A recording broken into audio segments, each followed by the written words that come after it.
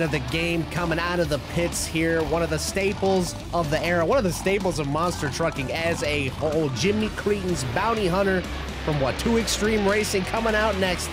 And that thing is a beauty. I've always loved Bounty Hunter too. You cannot hate on Bounty Hunter.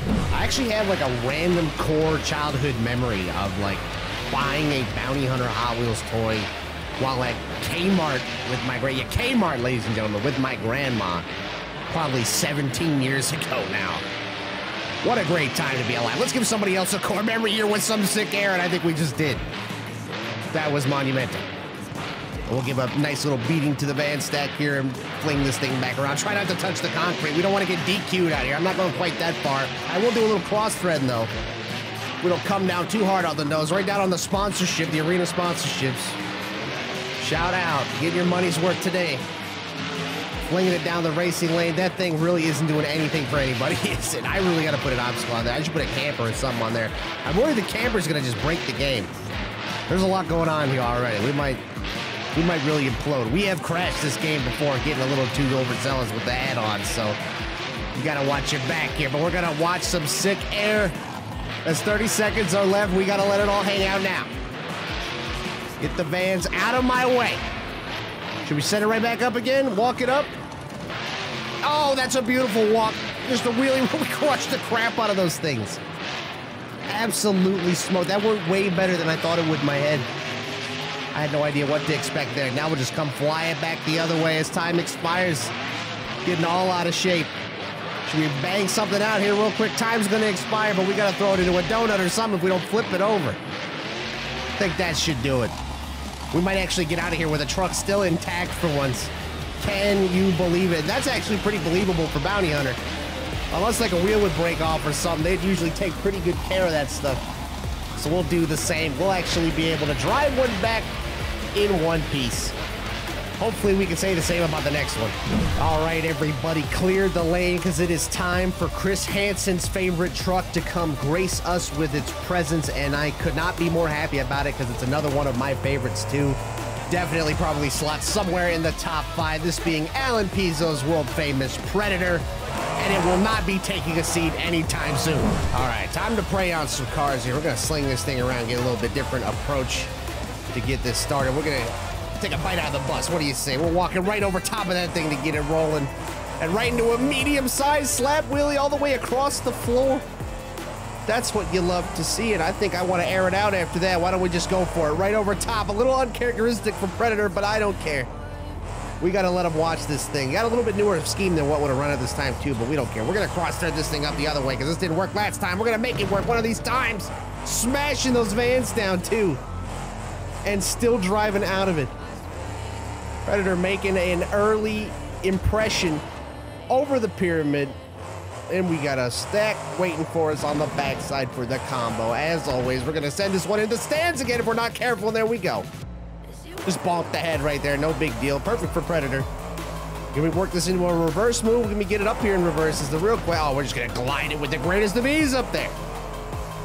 Simple, yet effective. And with 30 seconds left, we can't be fooled around. We got to get this thing. What? Uh, we had a pretty good run so far. How do we get this to go even better? Do like a perfect supercross level jump there. That didn't exactly go how I planned it, but we'll work with what we get. That's to hurt the tailgate. That's to be a spine check. My window is falling out. I'm to get hit in the face with dirt. This windshield's to be very helpful. Oh, there goes my hood. There goes my face. I just ran it over. We are to have one hell of a fiberglass build now, and that is pretty much to do it. We'll let the clock expire. We'll drive one out. This was not the body to be tearing up. Oh, man. Well, bad news for our next contestant here. Somebody stole your gimmick. We already had like two trucks just about fly into the stands today. So we don't really need you to do it now. And if I were you, I'd be mad. I'd be, I, that's gimmick infringement in the wrestling world. I'd be in court. I'd be suing. But instead, we're going to be slinging this willies all around the track and we're gonna try to keep it inside the park for pity's sake. Have we ever space forced a monster truck before though? Because this would be the perfect candidate for it. We might have to just try it right here. Try something a little different to open this thing up. Get us on the clock. Mounts that thing on each back wheel there. We'll just try everything, hit everything at weird angles. Why not? That ambulance is not going to be doing any rescuing, and we might need it too. I don't trust Captain Curse for a minute. This thing, uh, this could go flying off the handle at any minute. Who was even driving it that day? Was it Pablo Huffaker? I feel like it was. He was always behind the wheel of these awesome, like, race source chassis trucks. So I'm going to assume it was him, and we'll try to channel some of his energy here for the rest of this run, because it's it's going good so far. We got good mo. We're to get the pyramid, get some big air there. We're to totally clear it over that Ford logo. Not even to dream about touching it. And then this one, it probably wouldn't do us any good in the wheelies. Nice little sky wheelie again. Can we walk it into a wheelie right up the ramp, maybe? we have a super wheelie going over this thing. We're all out of shape and gathering it up and getting this thing spun around. That's how you make an impact here. What can we do with the bus? Get an all kind of weird whack run at the bus. What kept it together? All right, 20 seconds left. Might as well just keep trying weird hits. It keeps working. We'll try this little crush car hanging off the side that's gonna act as a backflip ramp, and we're gonna land it. That might be the greatest thing ever. Some crush car we just shoved off to the side is going to give us the most beautiful move of the day. And we'll ride it out with some donuts as the clock comes down to zero. What a run. That's what I meant by you can't trust Captain's Curse. It'll just come out of nowhere and bust a backflip. Like years before anybody was really doing it. I don't know. They were maybe they were just starting to do backflips around 2008. It might have been the next couple of years, but Come on, Captain. We got to get you back to the pits. Well, that Ford logo on the floor out there is about to get a lot more fitting with our next truck being the built Ford Tough Blue Thunder, another one of my favorites. We even got the old school one, a little bit newer of a model than what would have run in 2008, but all the same, still a badass automobile. There's the power up, and there's the pyramid getting pounded. I'm sure we'll keep these flags flapping throughout most of this run here if we can help it. It shouldn't be too hard to do. And there's something about a good dual flag setup that really gets my heart pounding, along with some monster air, of course, and some crushing combos right over the cars these flags are flapping around doing all kinds of crazy things. We got to make a little thunder, though. Let's make a little noise over the middle. Why don't we go for the big one? Hit a nice one right over the middle, and we land it as clean as you can. Ford getting their sponsorship dollars in, and it's paying off right now. I'll tell you that much. The corporate sponsors back in Detroit are going to be very happy about this. That's what we should have done this. Should be doing this inside of Ford Field. We could at some point. That does exist in Beam, but we got about half a run left still. We got to focus on what's important, like airing it out over the pyramid and comboing it right into the next stack. We're just turning it, I mean, it's not even much of a stack anymore. It's just kind of a, a speed bump in the bus, and forget about it. Cleared it entirely. We're going to slap it down for the wheelie. We're looking great out here with 25 seconds left to go for Blue Thunder. And I think this is about where we got to start trying something different. Let's crawl it over the pyramid here. And we got to try something on the side with this crush car here. Just gas it up. We're going for another backflip just about and we're just about gonna land it too, and our hood's getting caught up on our wheel. What in the heck? It finally frees itself, and now I gotta try to answer that. What do we do? We just gotta smash something into another backflip that's actually gonna work off the bus. How did that happen? That was not supposed to be a success. Blue Thunder, you absolute beast. We gotta give him something here. We gotta give him a little donut on the way out. Who would have thought that that little crush car add-on to the side of that middle ramp would be oh so rewarding. Well, as we get down to our final four trucks in the lineup, Taz is up next, and Taz has quite a reputation around here. Last time we used Taz, we ended the run with only two tires on the truck. So prepare yourself because this could go a lot of different ways, and I think we're just to tear it down like only a Tasmanian devil can, but not before we pump up the crowd a little bit we're almost through the show, people. I've been going at this for so long, I'm starting to get delirious. So let's just try to convey the craziness on the track. Just gonna send it super high, super uneven, a little squirrely on the landing, but gathered up. Tasmanian Devil gonna be a lot of unorthodox hits like that one right there. The bus looking like another prime it, and it sure is. We're gonna be lucky not to break something on this run, but you know what? That's kind of what Taz does. That's kind of what we do here. We might rip the whole body off. We might rip all four wheels off this freaking time. Let's try what the pyramid can do. Let's try walking it over here. Oh, I got caught on the car, Dude, That thing almost ate me alive. That could have been really terrible. We're hitting wheelies over stacks now. Let's see, we got to switch things up with Taz. We got to do stuff different. As you can see, we even got a fresh RV out here that we're going to have to work with in a little bit. Hopefully that doesn't absolutely implode my game because it's been known to do so in the past. So as we space force ourselves over the little van stack, we got to do it. We got to do a little R&D on the RV. Let's go smashing right through it. Put it down, put it in three pieces. Now we got to air it out. Let's just go. Cross thread, perfect ramp to ramp. You couldn't do it any smoother if you tried. with like 20 seconds left. I'm in these vans again. I don't even care.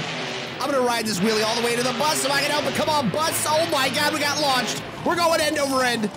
Gather it up. Gather it up. No, no, no, write it out. Oh, we almost wrote it out. That is a perfect Taz finish right there. We're gonna have about five seconds left on the clock from where we stopped. What a run. Come on, buddy. Get back on your feet. We ripped all the ears off. The face is gone. This is a sad scene for Taz, but does it start? It does indeed. Is that even a question? They build these things stronger than death, literally. And look at my face just laying on the ground over here. I'm gonna run it over, or try to at least. Come on now, come on, there we go.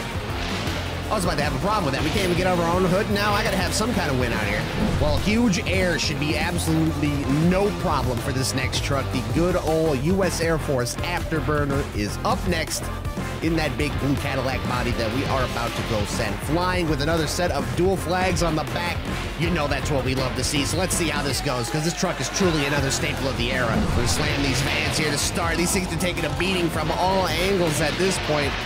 No love for the vans. We'll save that camper that we reset here for a minute because I figured out those are breaking my replays, but they're not actually crashing the game. So there are some casualties out here. And all that means is I can't get crazy shots of me doing stuff like this later on, but that's okay.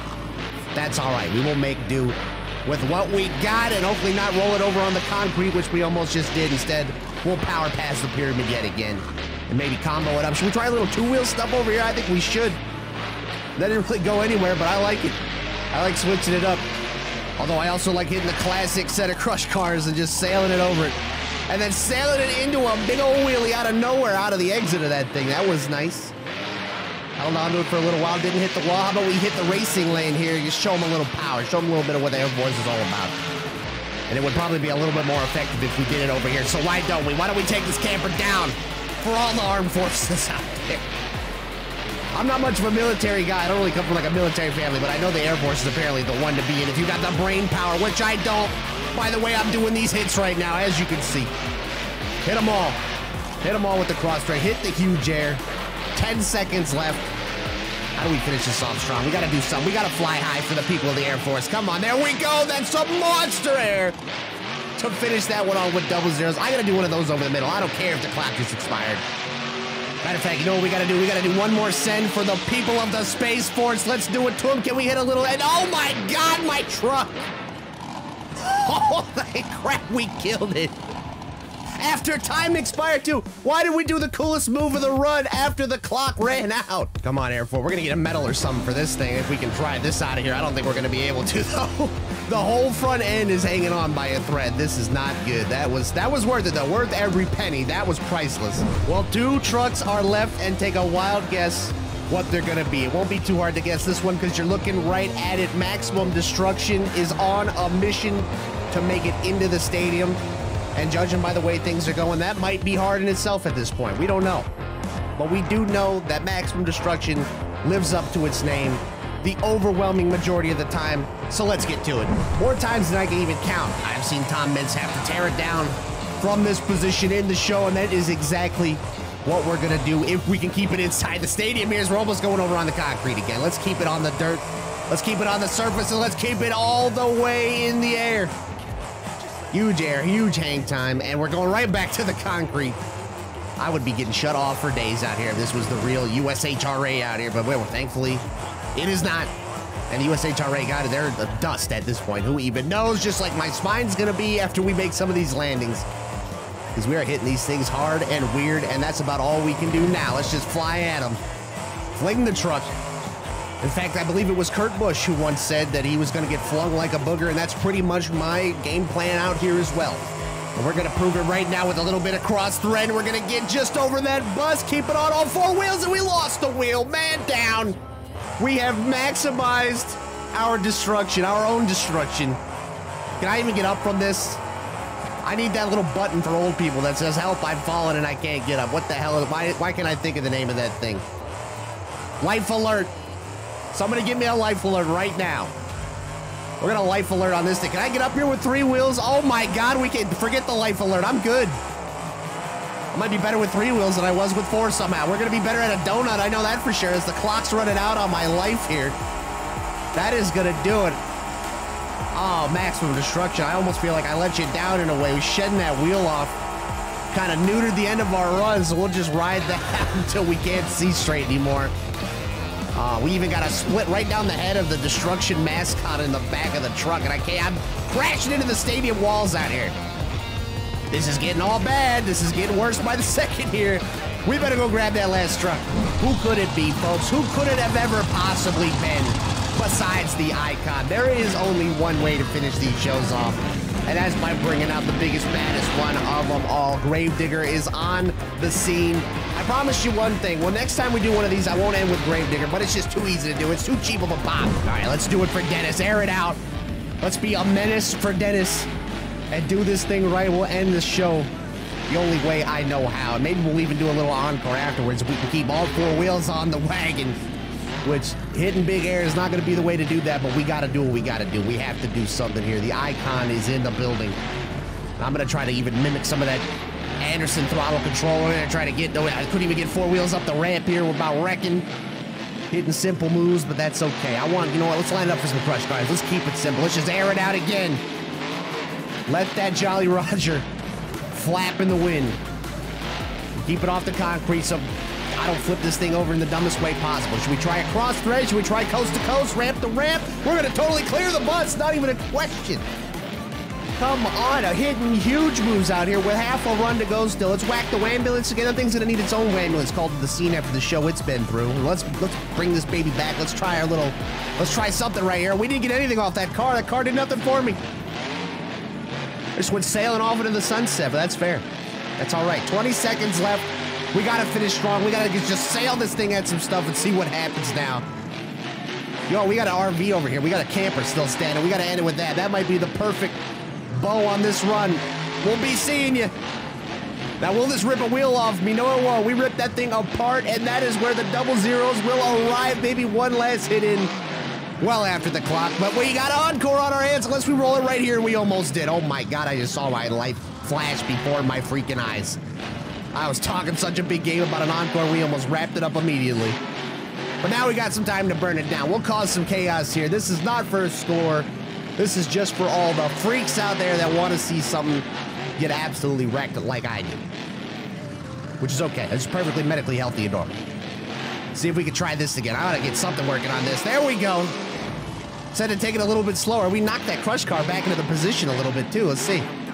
See if that thing just falls right on down. I don't know if it's going to stay up there anymore, but we won't worry about that. We'll hit that pyramid, smash that thing down. We're going to get all turned around. We're going to maybe lose the truck. Can we save it?